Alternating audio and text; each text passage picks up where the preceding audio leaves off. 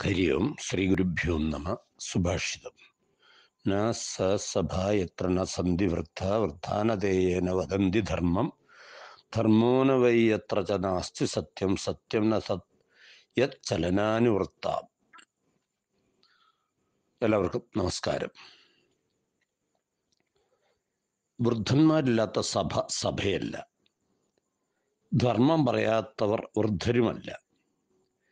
സത്യത്തോടുകൂടി അല്ലാതെ പറയപ്പെടുന്നതൊന്നും ധർമ്മവുമാവുകയില്ല. കാപട്ടിലേശം ഒളിഞ്ഞിരിക്കുന്നുവെങ്കിൽ അവിടെ സത്യമുണ്ടെന്നും പറയാൻ വയ്യ. ഇതാണ് ഈ ശ്ലോകത്തിന്റെ സാരം. ചുരുക്കത്തിൽ സത്യസന്ധമായി ധർമ്മം പറയുന്ന വൃദ്ധന്മാർ വേണം ഏത് സഭയും പ്രശോഭിപ്പിക്കുവാൻ എന്നാണ് സൂചന. രാജസദസ്സും പണ്ഡിത സദസ്സും ഒക്കെ ഉണ്ടായിരുന്ന പഴയ കാലത്തെ സുഭാഷിതമാണ് ഇത്. പക്ഷേ ഇക്കാലത്തും ഇതിന് ഏറെ പ്രസക്തിയുണ്ട്. ഭരണസഭയും പണ്ഡിത സഭയും നീതിന്യായ സഭയും ജനസഭയുമെല്ലാം ഇവിടെ സുലഭമാണ്. അവയിലൊക്കെ വൃദ്ധന്മാരെ കാണുകയും ചെയ്യാം. എന്നാൽ അവർ കാപട്യമുള്ളവരായി സത്യത്തെ മാനിക്കാതെയും ധർമ്മം പറയാതെയും ഇരിക്കുന്നു എന്നതത്രേ ഇന്നത്തെ സങ്കടം. അതുണ്ടാക്കുന്ന സാമൂഹിക ദുരന്തങ്ങൾ വളരെ വലുതാണ്. മഹാഭാരത കഥയിലെ ഒരു സന്ദർഭം ഇവിടെ സ്മരിക്കുന്നത് ഉചിതമാണ്. ചൂതുകളികളിൽ വിജയിച്ച ദുര്യോധനൻ തനിക്ക് പണയമായി ലഭിച്ച പാഞ്ചാലിയെ സഭയിലേക്ക് വരുത്തി അട്ടഹസിച്ചു. ആ രാജ്യസഭയിൽ മഹാജ്ഞാനികളും അതിലേറെ കരുത്തന്മാരായ വൃദ്ധന്മാരും ഉണ്ടായിരുന്നു.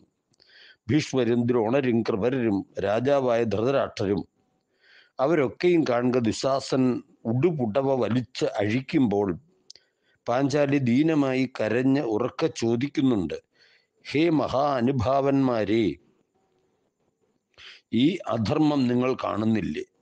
ഈ അക്രമം നിങ്ങൾ തടയാത്തത് എന്താണ് പക്ഷേ ധർമ്മം അറിയുന്ന കരുത്തരെങ്കിലും അവരാരും അന്ന് ധർമ്മത്തെ ഓർക്കാതെ അധർമ്മത്തെ എതിർക്കുകയുണ്ടായില്ല.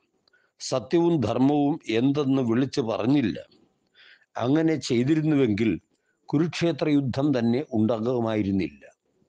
യുദ്ധഭൂമിയിൽ വീണ ശവങ്ങളെ കെട്ടിപ്പുണർന്ന അമ്മമാരും വിധവകളും കുട്ടികളും വാവിട്ട് കരയേണ്ടിയും വരുമായിരുന്നില്ല.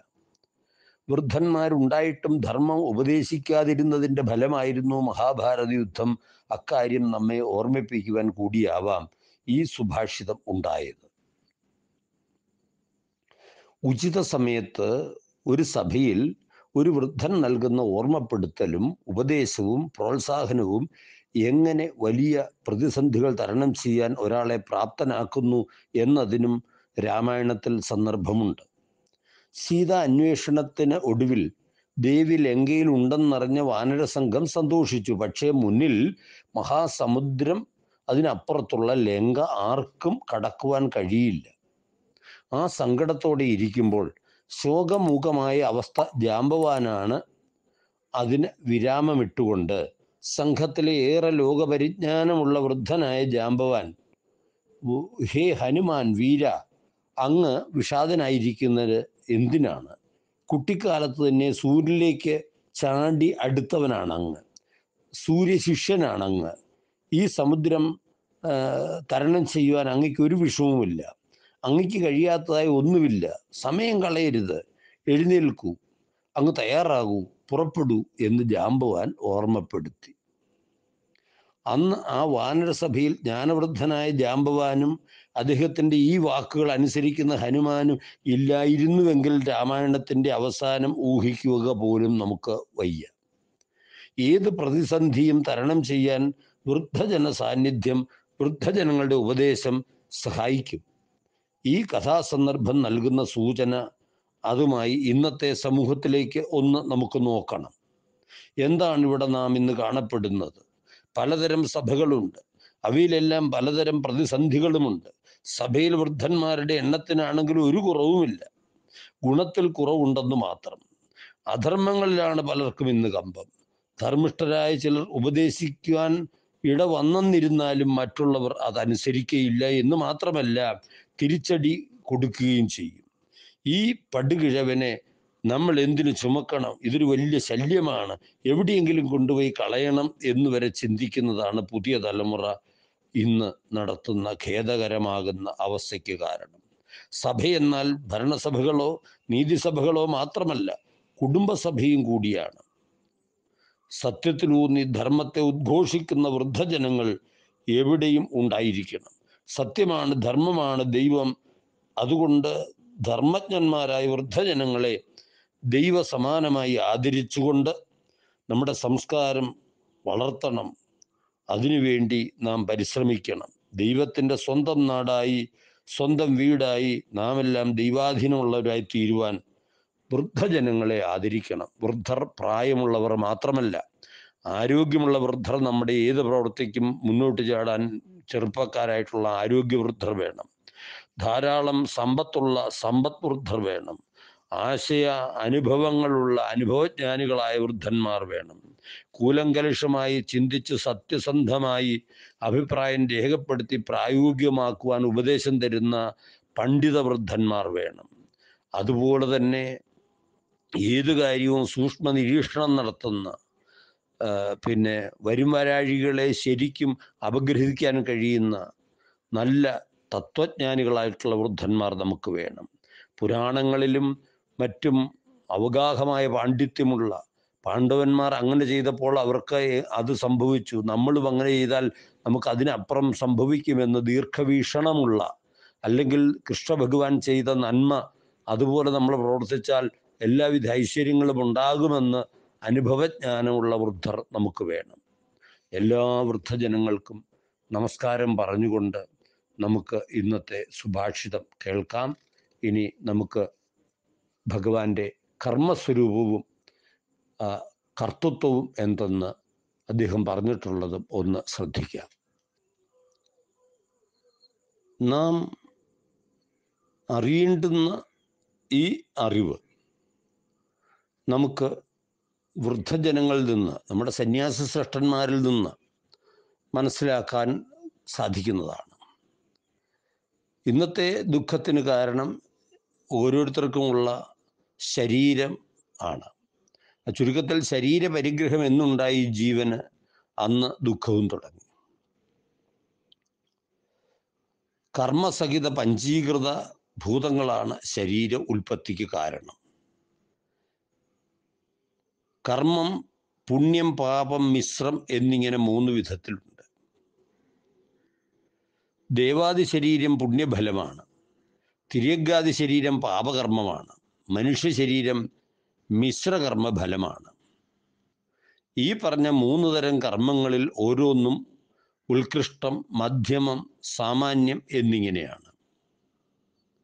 ഇങ്ങനെയുള്ള കർമ്മ വൈവിധ്യത്തിന്റെ ഫലമായി ജന്മവും നാനാപ്രകാരത്തിലാണ് ഹിരണ്യഗർഭാദി ശരീരം പുണ്യകർമ്മ ഉത്കൃഷ്ടമാണ്. ഇന്ദ്രാദി ശരീരം പുണ്യകർമ്മ മധ്യമമാണ്. യക്ഷരാക്ഷസാദി ശരീരം പുണ്യകർമ്മ സാമാന്യമാണ്. അന്യർക്ക് ദ്രോഹത്തെ ചെയ്യുന്ന വിഷവൃക്ഷങ്ങൾ രണ്ടാമത്തേത് കണ്ടകവൃക്ഷങ്ങൾ വ്യാഘ്രം സർപ്പം വൃശ്ചികം ഉലൂകം മശകം മുതലായി ശരീരങ്ങളും പാപകർമ്മ ഉത്കൃഷ്ടങ്ങളും പനസം ആമ്രം കദളി നാളികേരം മുതലായ വൃക്ഷലതാദികളും മഹിഷം ഗർദ്ധവം മുതലായ മൃഗശരീരങ്ങളും പാപകർമ്മ മധ്യമങ്ങളും. അശ്വത്ഥം തുളസി കൂളം മുതലായ വൃക്ഷങ്ങൾ പശു കുതിര മുതലായ ശരീരങ്ങൾ പാപകർമ്മ സാമാന്യങ്ങളുമാണ്. ഇവിടെ മനുഷ്യലോകത്തിൽ നിഷ്കാമകർമ്മ അനുഷ്ഠാനം സാധന ചതുഷ്ടയ സമ്പത്തി സദ്ഗുരുലാഭം ശ്രവണം മനനം ആത്മജ്ഞാനം എന്നിവ കൊണ്ട് ജീവൻ മുക്തിക്കും വിദേഹമുക്തിക്കും യോഗ്യമാക്കുന്ന മനുഷ്യ ശരീര മിശ്രകർമ്മ ഉത്കൃഷ്ടമാണ്. സ്വ ആശ്രമ ഉചിത കർമ്മങ്ങൾക്കും കാമ്യകർമ്മങ്ങൾക്കും അനുഷ്ഠാനയോഗ്യമായ ശരീരം മിശ്രകർമ്മ മധ്യമവും. ചണ്ടാല പുൽക്കസ ശരീര മിശ്ര കർമ്മ സാമാന്യവുമാണ്. അതുകൊണ്ട് വിവേകികളായിട്ടുള്ളവർ വിവിധങ്ങളായിട്ടുള്ള കർമ്മഫലങ്ങളെ താരതമ്യേന വിചാരം ചെയ്യണം. ഈ മനുഷ്യജന്മത്തിൽ മിശ്രകർമ്മത്താൽ കഷ്ടകർമ്മമായ ജന്മപ്രാപ്തിക്ക് വേണ്ടി സ്വവർണാശ്രമ കർമ്മങ്ങൾ ഫല ഇച്ഛ കൂടാതെ ഈശ്വരാർപ്പണമായി ചെയ്ത് ആത്മവിചാരം കൊണ്ട് മോക്ഷപ്രാപ്തിക്ക് വേണ്ടി പ്രയത്നിക്കുന്ന ഒരു നിയമമുണ്ട് ഒരു സിദ്ധാന്തമുണ്ട്. അത് അനുഷ്ഠിക്കണം. ഈ പറഞ്ഞ മൂന്ന് വിധ കർമ്മങ്ങളും മനോവാക്ക് കായങ്ങളാകുന്ന മൂന്ന് കരണങ്ങൾ കൊണ്ടാണ് ചെയ്യുന്നത്. ഈ ലോകത്തിൽ പലരും ഞാൻ ചെയ്യുന്നു ഞാൻ ചെയ്യുന്നു എന്ന് പറഞ്ഞു കേൾക്കാറുണ്ട്. അവരുടെ എല്ലാം ഈ അന്യ ഭാവത്തിലുള്ള അനുഭവം കൊണ്ട് അവരുടെ ശരീരത്തിൽ ശരീരാഭിമാനിയായി ഞാൻ എന്ന പേരോടെ വർത്തിക്കുന്ന ആത്മാവിന് കർത്തൃത്വം ഒഴിവാക്കി ത്രിവിധ കരണങ്ങൾ മനസ്സ് ചിത്തം ബുദ്ധി ഇതുകൊണ്ട് അവർ കർമ്മങ്ങൾ അനുഷ്ഠിച്ചുകൊണ്ട് ജീവിക്കുന്നു. ത്രിവിധ കരണങ്ങളെ കൊണ്ട് ചെയ്യുന്ന കർമ്മങ്ങളെക്കുറിച്ച് അല്പ ചിന്തിച്ചു നോക്കിയാൽ സവിശേഷ ചിന്ത പരലോക ചിന്ത നിർവിശേഷ ചിന്ത ഭക്തിജ്ഞാന വൈരാഗ്യ ചിന്ത ഇങ്ങനെ ബുദ്ധിവികാസങ്ങളെ എല്ലാം മനസ്സുകൊണ്ട് ചെയ്യുന്ന മാനസ പുണ്യകർമ്മങ്ങളാണ്. വിഷയചിന്ത മറ്റുള്ളവർക്ക് അപ്രകാരം ചെയ്യുവാനുള്ള ചിന്ത വേദശാസ്ത്രാദികളുടെ പ്രാമാണ്യത്തെ പുച്ഛിച്ചുകൊണ്ടുള്ള ചിന്ത ധർമ്മ അധർമ്മ ആദ്യഭാവചിന്ത അതിന്റെ മധ്യഭാവചിന്ത ഇത്യാദി ബുദ്ധിവികാരങ്ങൾ മാനസ പാപകർമ്മങ്ങളാണ്. സുവിശേഷ നിർവിശേഷ പുണ്യചിന്തകളോടുകൂടി വിഷയചിന്ത മുതലായ പാപചിന്തകളും കൂടി കലരുമ്പോൾ അവ മാനസ മിശ്രകർമ്മങ്ങളായി മാറും. വേദാധ്യായനം ശാസ്ത്രപഠനം ഗീതാപഠനം സഹസ്രനാമ പഠനം പഞ്ചാക്ഷരാദി മന്ത്രജപം ഭഗവത് നാമകീർത്തനം പരോപകാര വാർത്ത സത്യവാക്യം മൃദുഭാഷണം എന്നിവ വാക്കുകൊണ്ട് ചെയ്യുന്ന പുണ്യകർമ്മങ്ങളാണ്. വേദശാസ്ത്ര ഭൂഷണം ദേവതാഭൂഷണം അസത്യ വാർത്തകൾ പറയുക അപഹാസ വാർത്തകൾ പറയുക ഇങ്ങനെയുള്ള വാക്കുകൾ വാചിക പാപകർമ്മങ്ങളാണ്. വേദ അധ്യയനം പൂജ മുതലായ കർമ്മങ്ങൾ ചെയ്യുമ്പോൾ അതോടുകൂടി പരനിന്ന അസത്യം പരിഹാസം ലൗകികം മുതലായ പാപകർമ്മങ്ങളും കൂടി കലരുമ്പോൾ അവ വാചിക മിശ്ര കർമ്മങ്ങളായി മാറും. പുണ്യ തീർത്ഥസ്നാനം ഗുരുദേവതാ നമസ്കാരം ദേവപൂജാ പ്രദർശനം സജ്ജന ദർശനം ത്യാഗം ലോക അനുഗ്രഹ സഞ്ചാരം ഇതൊക്കെ കായിക പുണ്യകർമ്മങ്ങളാണ്. പരഹിംസ പരസ്ത്രീ സംഘം ദുഷ്ടസംഘം ഇതൊക്കെ കായിക പാപകർമ്മങ്ങളാണ്. ബ്രാഹ്മണ ഭോജനാർത്ഥം പരോപദ്രവം ദേവാലയ നിർമ്മാണത്തിന് വേണ്ടി പരദ്രവ്യ അപഹാരം തണ്ണീർ പന്തൽ സ്ഥാപിച്ചിട്ട് ജോലിക്കാർക്ക് കൂലി കൊടുക്കാതിരിക്കുക മുതലായ പുണ്യ പാപ മിശ്രങ്ങളായ കർമ്മങ്ങൾ കായിക മിശ്രകർമ്മങ്ങളാണ്. മേൽപ്പറഞ്ഞ മൂന്ന് വിധ കർമ്മങ്ങളും നന്നായി വിചാരം ചെയ്ത് അതുകൊണ്ട് രണ്ടു തരം ഫലമുണ്ട്. ഒന്ന് മുഖ്യഫലം അടുത്തത് അവാന്തര ഫലം. മൂന്ന് വിധ കർമ്മങ്ങളും ത്രിവിധ കരണങ്ങൾ കൊണ്ട് മാത്രം ചെവി ചെയ്യുന്നവയാണെന്നും ആത്മാവിന് അതിൽ ഒന്നിന്റെയും കർത്തൃത്വം ഇല്ലെന്നും അവയിൽ ഒന്നുപോലും ചിതാകാര സ്വരൂപനായ ആത്മാവിനെ സ്പർശിക്കുന്നില്ലെന്നും മനസ്സിലാക്കി എല്ലാ സംശയങ്ങളും ഉപേക്ഷിച്ച് ദൃഢ അനുഭാവത്തോടു കൂടിയുള്ള അവസ്ഥ സ്ഥാനമാണ് മുഖ്യഫലം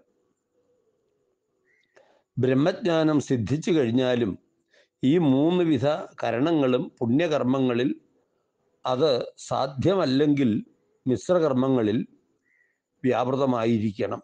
ഒരിക്കലും പാപകർമ്മങ്ങളിൽ വ്യാപൃതമാകരുത്. അതുകൊണ്ട് കദളിവാഴ കൃഷിയുടെ മുഖ്യഫലം കദളി ഫലവും പത്ര പുഷ്പാദികൾ അവാന്തര ഫലവുമാണ് അതുപോലെ ആത്മാവിന് കർമ്മങ്ങളുടെ കർത്തൃത്വം ഇല്ലെന്ന് കണ്ട് കാര്യത്വമുണ്ട് എന്ന് അന്വേഷിച്ച് നാം പലരും ദേവാലയം പണിയുന്നു. ഞാൻ കുളം കുഴിപ്പിക്കുന്നു എന്നെല്ലാം ധാരാളമായി പറഞ്ഞത് കേൾക്കാറുണ്ട് പറയാറുമുണ്ട്. ഞാൻ അത് ചെയ്തു ഞാൻ ആ സൽക്കർമ്മം ചെയ്തു. എന്നാൽ ഞാൻ എന്ന പദം കൊണ്ട് വിവക്ഷിക്കുന്ന ആത്മാവിന് കാരയിത്വം ഉണ്ടാകുവാൻ ഒരു കാരണവുമില്ല. ആത്മാവ് നിർവികാരനാണ് സ്ഫടികപാത്രത്തിന്റെ സമീപത്ത് വെച്ച ചെമ്പരത്തിപ്പൂവിന്റെ ചുവപ്പ് സ്ഫടികപാത്രത്തിന് ഉള്ളതായി തോന്നുന്നത് പോലെ രാഗദ്വേഷാദി നിഷ്ഠമായ കാര്യത്വത്വം മനവിഭ്രാന്തി കൊണ്ട് ആത്മാവിൽ ആരോപിച്ച് ആത്മാവിന്റെ കാര്യത്വത്വം സ്വാഭാവികമായി ഉള്ളതാണെങ്കിൽ അത് സുഷുമ്നാവസ്ഥയിലും കാണേണ്ടതായതുകൊണ്ട് അങ്ങനെ കാണുന്നില്ലാത്തത് കൊണ്ട് ആത്മാവിന്റെ കാര്യത്വത്വം സ്വാഭാവികമല്ല. അത് ആഗന്തുകം മാത്രമാണ്.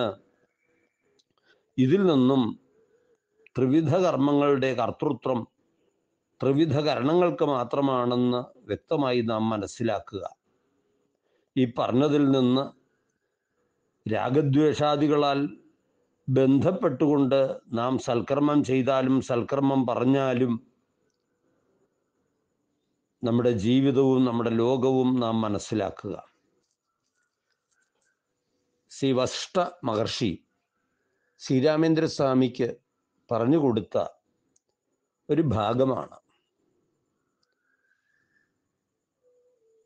ഇതിൽ നിന്നും ഈ മൂന്ന് വിധത്തിലുള്ള കർമ്മങ്ങളും മൂന്ന് വിധത്തിലുള്ള വൃക്ഷങ്ങളും മൂന്ന് വിധത്തിലുള്ള ജന്മങ്ങളും തിരിയക്കാദികളും ആ മൂന്ന് വിധത്തിലുള്ള കർമ്മങ്ങളുമെല്ലാം നമുക്ക് മനസ്സിലാകുമെങ്കിൽ നമ്മൾ ചുരുക്കത്തിൽ ഇന്നതിന് ഇൻ വേണ്ടി ഇന്നത് ചെയ്തു എന്നൊരാളിനെ ഉപദേശിച്ച് അയാളുടെ ശാരീരിക അധ്വാനം കൊണ്ടോ അയാളുടെ അദ്ദേഹത്തിന്റെ ധനം കൊണ്ടോ നമ്മൾ അതിന് പ്രയോജനപ്പെടുത്തുമ്പോൾ ആ ധനം അദ്ദേഹത്തിന് എങ്ങനെ കിട്ടി?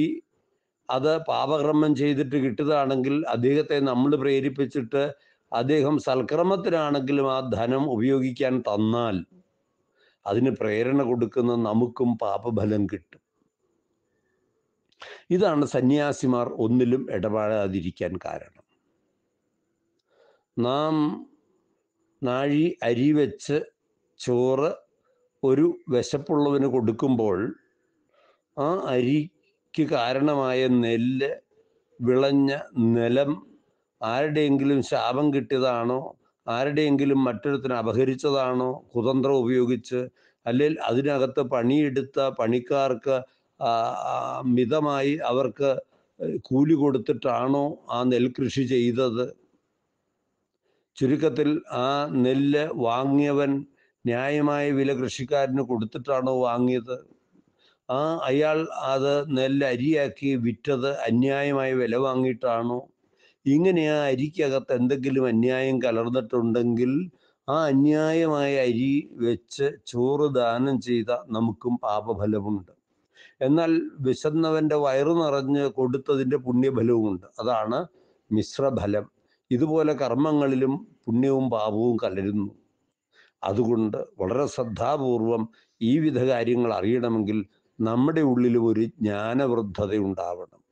പേരിനും പ്രശസ്തിക്കും വേണ്ടി പലരും പലതും ചെയ്യുമ്പോൾ നാം അറിയുക നമ്മളിൽ ഒരു ജ്ഞാനവൃദ്ധരുണ്ടാവണം. സത്യവും ധർമ്മവും തെറ്റും ശരിയും തിരിച്ചറിയണം. അവനവന്റെ കർമ്മം അനുഷ്ഠിച്ചാൽ നമുക്കും വലിയ കുഴപ്പമില്ലാതെ ഈ ശരീരം ഏതായാലും ദൈവം തന്നു. അതിനകത്ത് മിശ്രകർമ്മവും പുണ്യകർമ്മവും സമാനം എല്ലാം മനസ്സിലാക്കിക്കൊണ്ട് മുന്നോട്ട് പോകുവാൻ ഭഗവാൻ നമ്മളെ ഏവരെയും അനുഗ്രഹിക്കട്ടെ എന്ന് പ്രാർത്ഥിക്കുന്നു.